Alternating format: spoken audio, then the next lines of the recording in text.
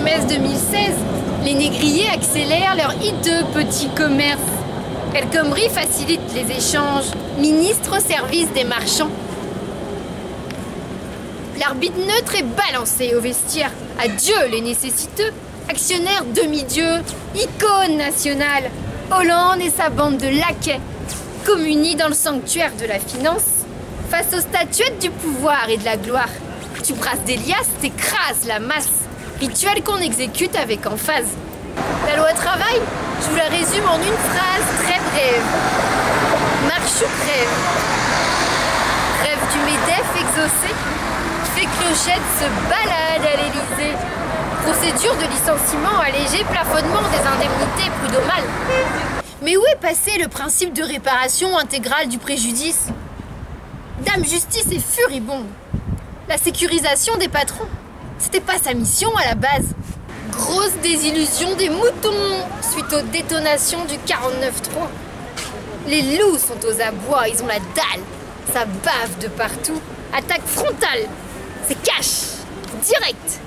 Comme j'aime. La mère patrie protège les puissants sans prendre de gants.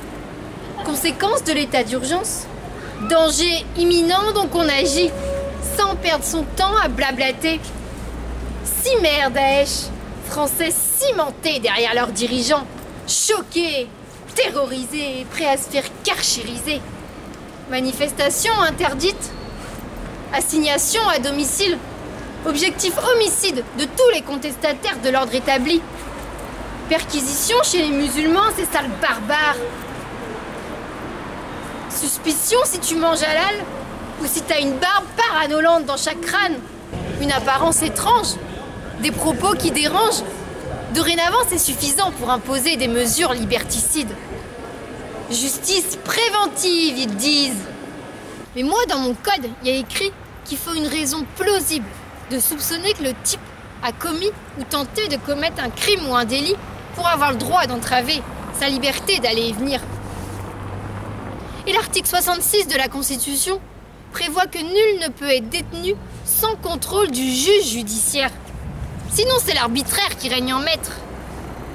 Mais l'État militaire n'a que faire de ces textes législatifs. Le Conseil d'État valide ces passages en force.